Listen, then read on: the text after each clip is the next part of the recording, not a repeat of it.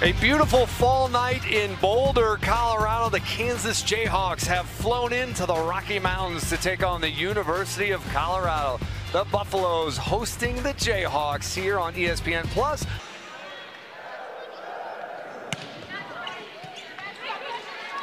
Turner out to Bien, and that hits the floor as Berlovich tried to come up with it.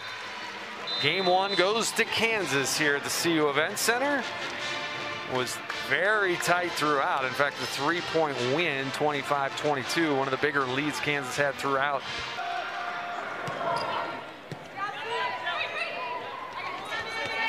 Davis just able to keep that one over the, the net after the defense. But it's Jordan, little back row attack for her. She puts it down. Sydney Jordan and the Buffs win set two, 25-18.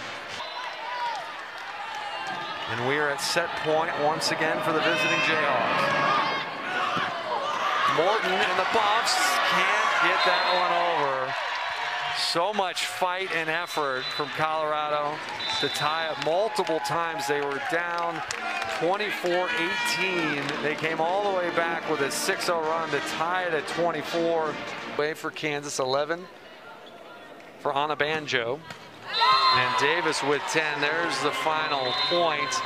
Goes to Kansas. They win 25-11. It was that critical set three. They won 28-26. That really decided things after Kansas took set one. Colorado took set two.